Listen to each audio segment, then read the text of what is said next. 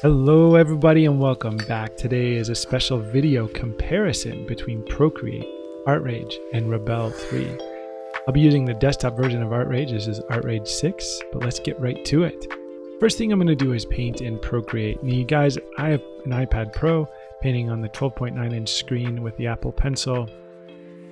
Procreate is, uh, for me, a wonderful tool for digital sketching, but um, when today I tried to paint with it as I would like an oil painter, I was, to be honest, kind of let down. Um, uh, the oil brushes and the turpentine brushes and all of the kind of natural media brushes. First thing I, I, I had to say is I didn't like doing my lay-in of the local color with those brushes because they seemed to grab onto the canvas color, like the white background. They would grab onto that color literally, literally and mix it with whatever color I was using. Um, so that is number one, just no, no, no. That's a disappointing approach to making your your paint. So I, I mean, I assume you can, of course, make make a, a, new layer and paint on that new layer, so it's not mixing with the background, but it shouldn't be mixing with the canvas color. Um, the other thing that I noticed is that while I absolutely love Procreate for a drawing tool, um, it, it just didn't feel like paint. Like at no point did I feel like, oh, this feels like the luscious kind of smoothness of painting with wet media. Uh, instead, it felt like a digital art tool, like incredibly digital. Um, thing about Procreate is that again, like it's a incredible uh, for using it like a pencil. It's full featured with text tools and animation tools and all kinds of uh, automatic video recording. It's elegant, it's fast, it's responsive. It has um, incredible accuracy with the line work. So if you're like into comics or doing things like that, I mean, it's a it's awesome. If you're an illustrator, if you um, really want to do those like smooth digital looking portraits, it's great for that. But I found that in this painting, I didn't really enjoy it um, in with the mentality of, of oil painting. So I used a brush called the Nikko Rull brush and then once I did the lay-in, I I used the oil like the oil paint brush and the turpentine brush and the dry brush and the different kind of natural media mixing tools to kind of paint on top of that. And then when I to finish finish the drawing, I used some of my own homemade brushes that introduce a little more canvas texture and painted in a way that's like uh, I guess like my own brushes are better for me. You know, I like them more for painting the oil painting look than than anything that was built in. But a fun experiment with a great tool that's you know exclusive to the iPad. Here we have Rebel 3 or Rebel Rebel 3. I don't know quite how to say it, but it's um a tool that I've used more for its watercolor than for anything else. But it does have an interface and a kind of uh, natural media setup that's similar to ArtRage, and I'm interested in that. So um, that's what I'm doing here. I, I, have made a bunch of custom brushes, but I refrained from using them. I wanted to kind of just use it sort of out of the box. So if it was, you know, if it was you using this, kind of opening it up, testing it out, you would be getting this same experience.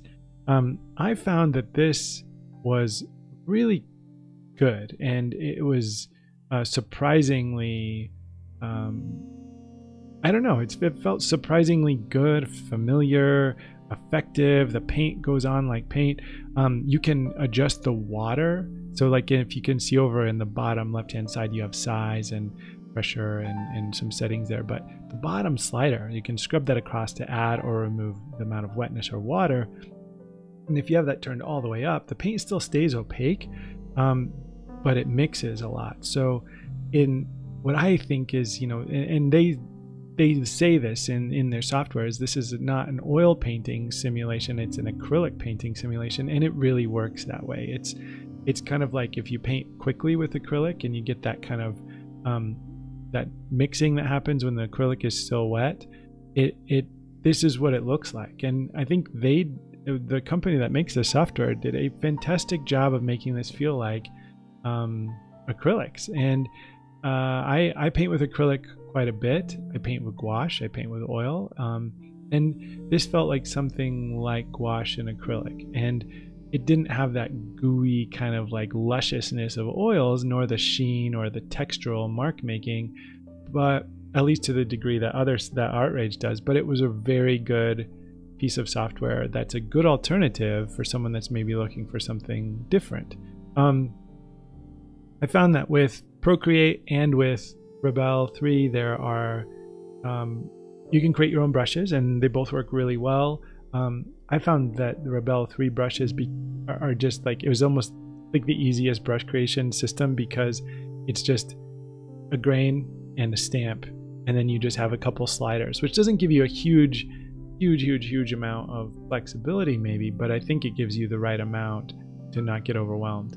And so I found a lot of success making brushes with that software. And um, you know, at the end of the the video with the Rebelle software, I use some of my own brushes, which I like a lot more than the ones that are built in. Um, again, just like Procreate, I want more of that canvas, granular texture, and meaty, chunky mark, you know, that kind of thing than maybe a lot of artists want. But for me, my style, I want that grit and that texture and that kind of mess. And I was able to get that very easily with my own custom brushes. And um, if you can, you can look here and you can see the the brush strokes stand up on their own. They feel like real brushstrokes. There's a little bit of actual three-dimensional texture to them. It's a good piece of software. It works really well. Um, I think its strongest asset is its watercolors. They're amazing. But for like this acrylic wash kind of pseudo oils, it does a good job. It does a, a much better job than Procreate for sure. Um, so I think, you know, a lot of people are like, whoa, whoa, Procreate's the best, you know, and I think it's, um, a lot of illustrators and a lot of young artists who are just you know more into, interested in a digital drawing tool, illustration tool. I totally get it for Procreate. It's amazing. It's fully featured. It's it's fast. It's responsive. It's amazing. But for me, I'm I'm more of a traditional artist gone digital, and for me, this is better. So I would say Rebelle 3 is better than Procreate for like a natural media painting simulation. So um, here, here we are in ArtRage, you know, painting that exact same photo from Pexels.com. This is a free to use, copyright free image. Just wanted something with some some shape, some natural lighting, um, something that could kind of get a little messy with the brushwork. And immediately I can tell that ArtRage is superior to everything when it comes to oil painting simulation. Um, now, now to be fair, um, Rebelle 3 is not trying to create oil painting. They, they, they explicitly call their tool acrylic and it works like that. And so, you know, being fair to them, they're not trying to be an oil painting simulation, but to be a natural media paint simulator, um, I think Rebelle 3 did a great job, but here ArtRage is superior. Um, and I think where Procreate, they have a bunch of tools listed as you know oil painting brushes that have mixing and smudging and all kinds of things there it's just not anywhere near as good it just isn't and it's uh, like I say, I if, here's where I would use these tools.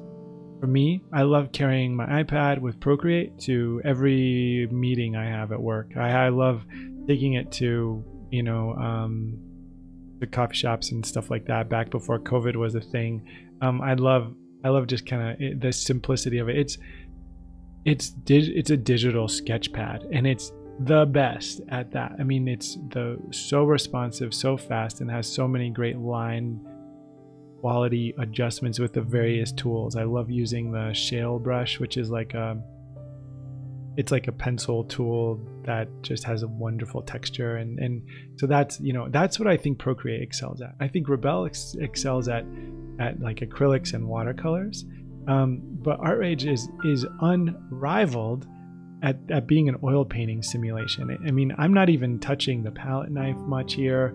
Um, I'm not using like any of my own custom brushes. I'm just using some sliders on the default oil brushes and it mixes and it's fast and it's smooth and it's thick and it has impasto and it has individual brush textures and layers and the paint mixes in a realistic way with like serendipity and and and the physics of all and um, the science of all the color mixing. It's so good. And i think that you know for anyone whether you're an illustrator or you're a fine artist or you're just a hobby you know just doing it for the fun just hobby and hobby painting hanging out i think ArtRage is incredible it's such a good tool and so unique um, now the uniqueness of Rebelle 3 is also really interesting to me um, and so I think those two are the more compelling tools. But I, I had I have to say that Um, ArtRage wins this contest hands down.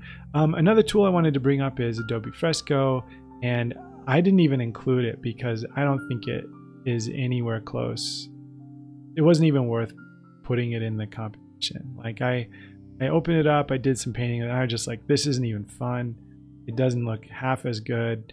It's just not on par. So don't even play with Adobe Fresco if you want like just go get ArtRage. It's that much better. It's like not even a competition. So um, it'd just be wasting your time. So there, there are a lot of other tools out there, but these I felt like were the best of the bunch to compare against ArtRage and just looking at oil painting. We'll do some more compare and contrast in the weeks to come, but that's that's what I got for today. Hopefully you guys enjoyed it and best wishes. Take care.